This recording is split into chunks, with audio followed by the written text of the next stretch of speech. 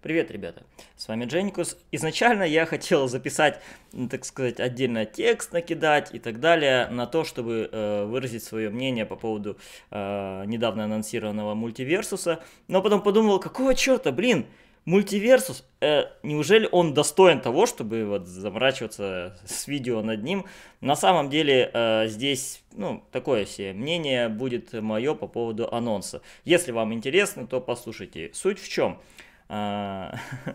этот самый мультиверсус, утечка которого э, была ранее, они в итоге анонсировали именно сейчас за ТГА. То есть они просто прекрасно понимают, что они, если э, Warner анонсируют этот файтинг, э, с позволения сказать, на The Game Awards, то их там просто все захейтят. Поэтому они решили вот так анонс сделать до The Game Awards. Конечно, по скриншотам еще тогда было понятно, что файтинг, ну, выглядит отстойно, отстойно, прямо скажем.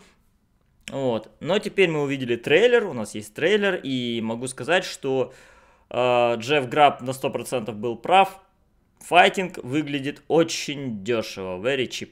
То есть э, он действительно э, выглядит как некая такая мобильная, скорее, игрушка в большей степени. А, но, тем не менее, это игра для больших платформ, для Steam, для PlayStation 4, 5, Xbox One и Xbox Series X и S.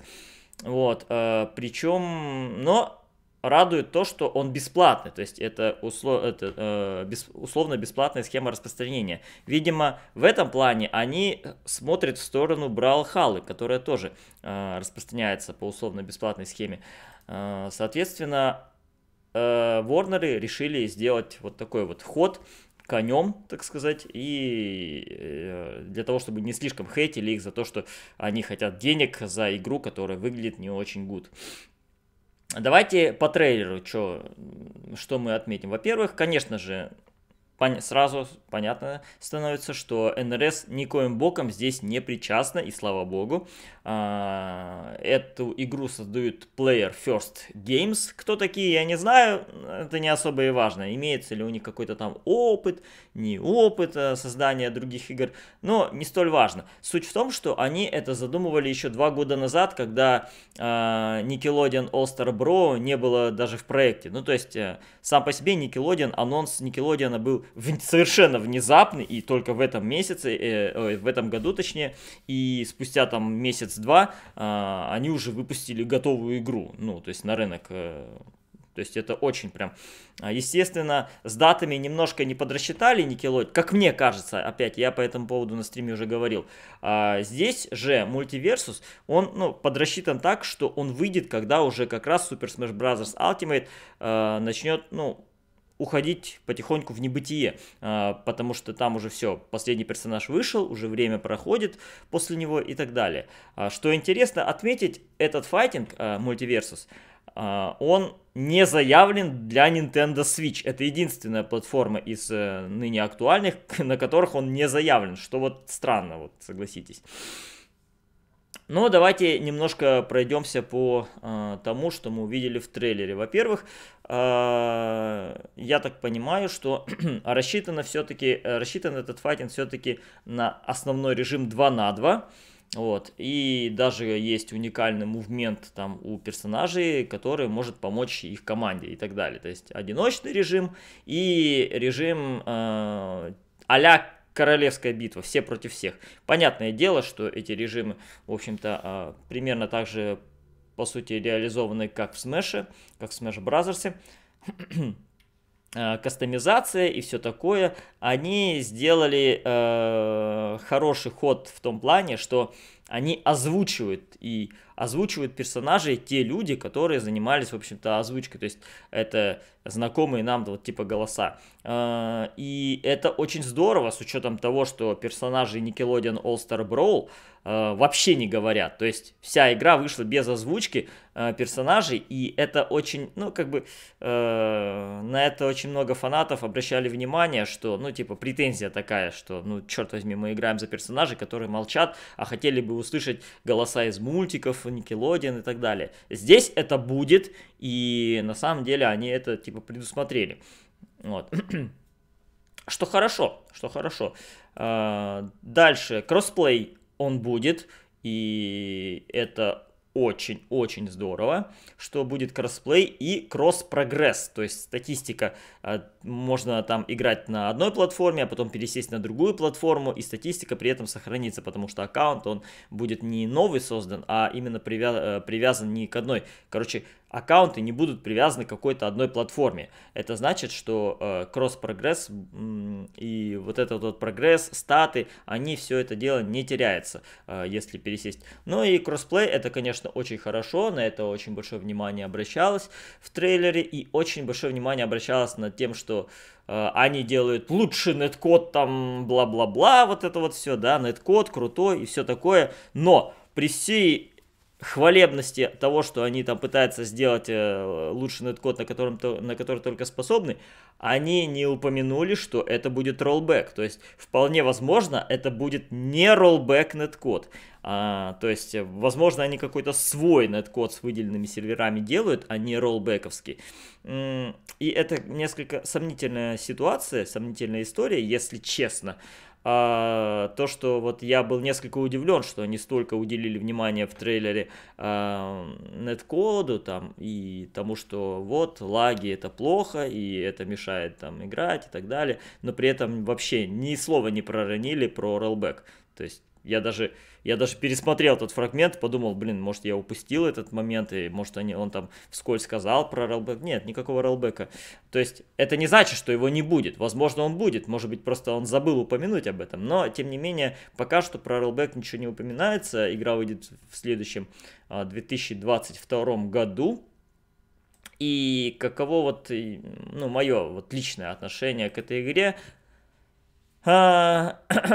продукт, мягко говоря, выглядит, во-первых, не очень.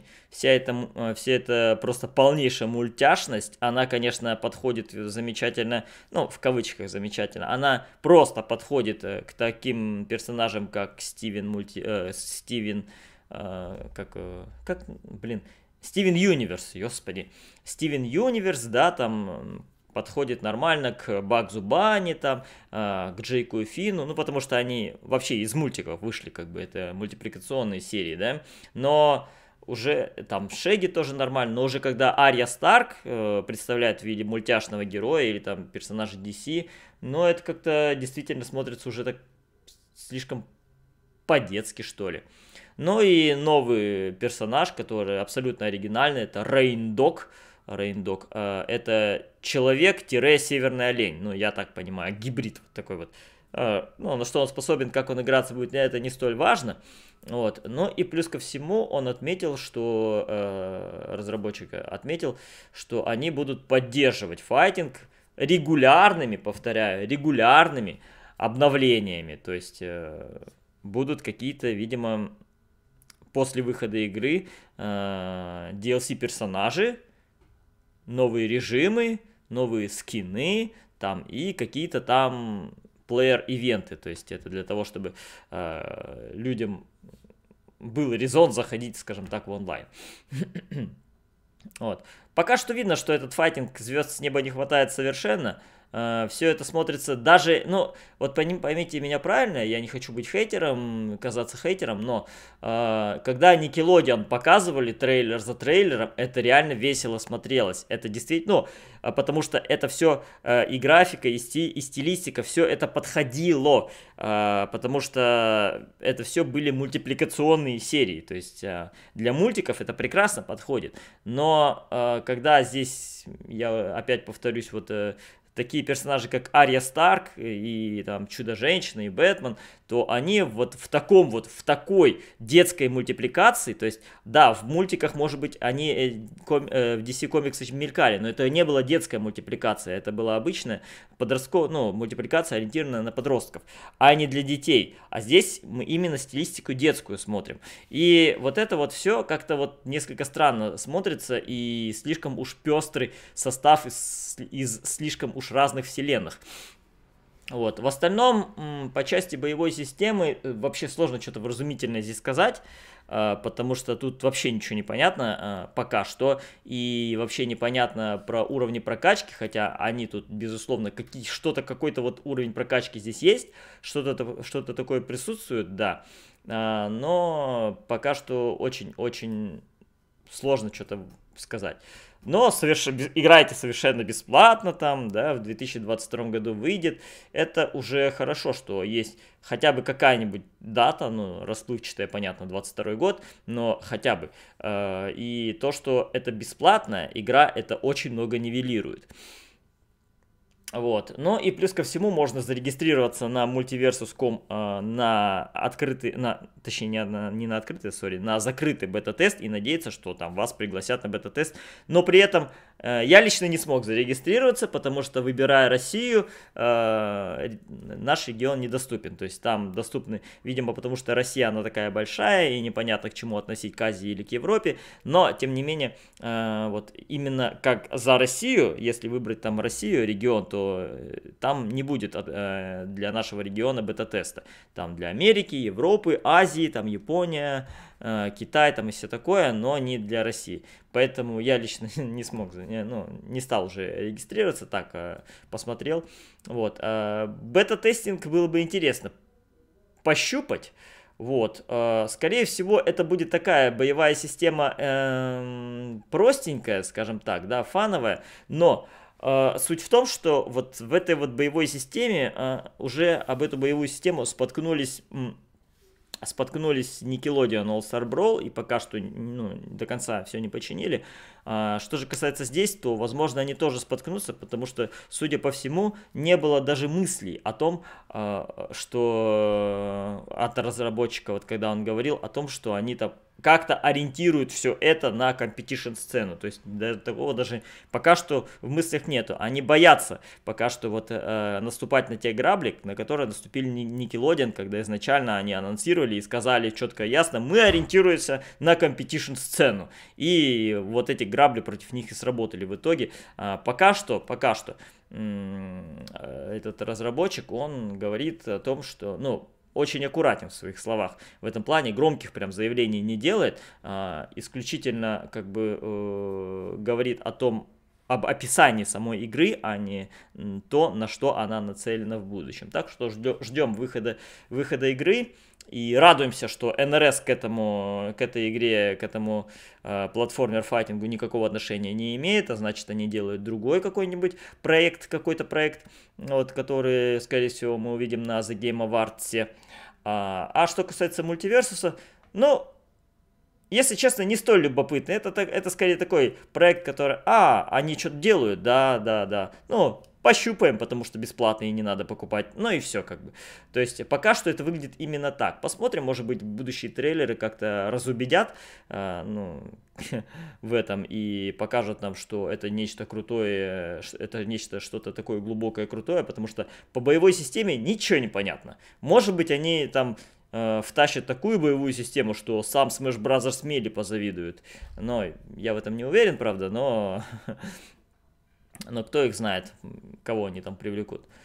Поэтому, ребята, это было мое такое вот затянутое мнение по э, ан- анонсированному сегодня файтингу Multiversus от разработчиков э, Player First Games, ну, соответственно, которые действуют под э, лицензией Warner Bros. и локализатором, локализацией которого занимается как раз-таки Warner Bros. Games.